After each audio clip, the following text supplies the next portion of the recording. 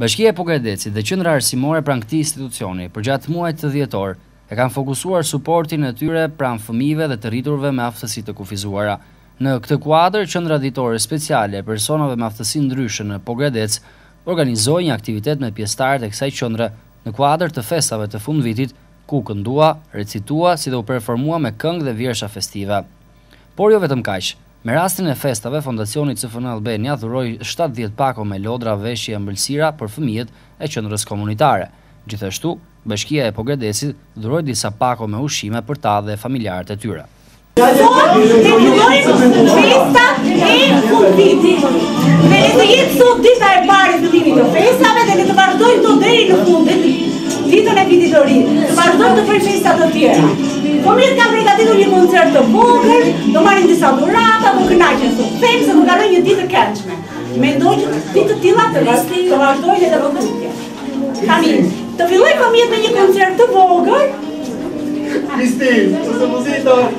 Të fërëse, nuk për shumë i përshtatëshëm së një vogën, të mi që të kënaqim, të filloj për vjetë e koncert të vogën, dhe pas të të unaj të pasë Duke qenë se ne jemi në kuadrin e festave të fund vitit dhe muaj dhjetor është muaj fundit i vitit, ne me qëndrën komunitare kemi filluar aktivitetet tona që në datën 3 dhjetor, që është dhe dita ndërkomtare e fmive me apsit kufizuar,